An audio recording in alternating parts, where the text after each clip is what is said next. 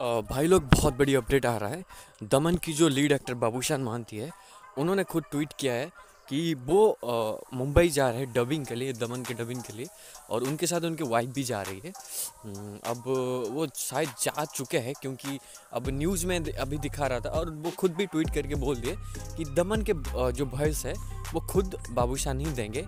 अब संकेत महत्र कुछ लोग बोले, संकेत महत्र देखो यार, संकेत महत्र के साथ बात चल रहा था, लेकिन इस आवाज़ के लिए फिट सिर्फ़ बाबूशान हो सकते हैं क्योंकि उनका आवाज़ काफ़ी शांत स्वभाव का होता है। इसीलिए शायद मैकर्स ने सोचा कि नहीं, हम बाबूशान की आवाज़ दे सकते हैं।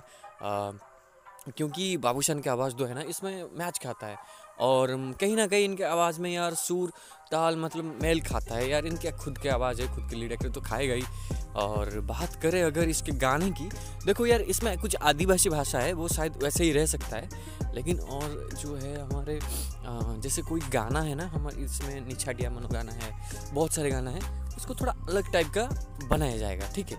हो सकता है उसी टाइप लेकिन क्या होना क्या है कि जो ओडिया के गाना है ना और हिंदी काफ़ी बहुत अ, मतलब तालमेल नहीं खाएगा लेकिन उस सुर के साथ कुछ और भी डाल के गा सकते हैं। लेकिन जो भी वो गाना होगा वो शुद्ध हिंदी में होगा।